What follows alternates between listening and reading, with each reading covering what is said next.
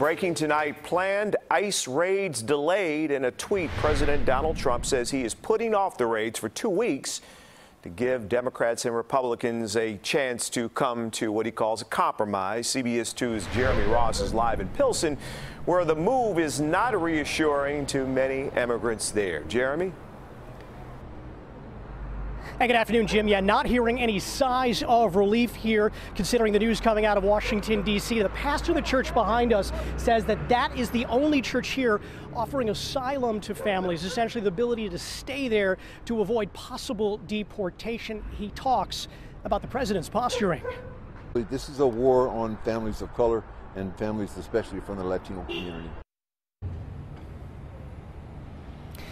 In a statement from the Cook County State's Attorney's Office, they say in part, quote, they are deeply concerned that the proposed immigration raids by the Trump administration will lead to further distrust between immigrant communities and law enforcement.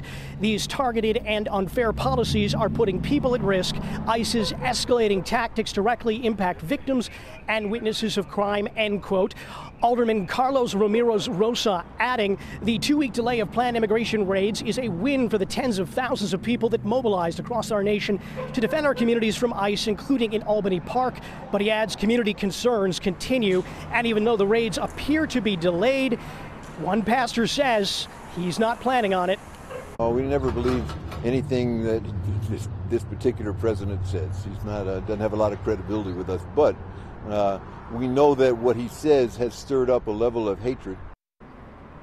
Defenders, supporters of the President of the United States saying that this is only making good on multiple campaign promises throughout the years. The pastor adding on average, he gets between three to four calls a week inquiring about asylum. He tells us between now and the next scheduled raid, he'll go to other churches in this area to see if they can provide asylum as well.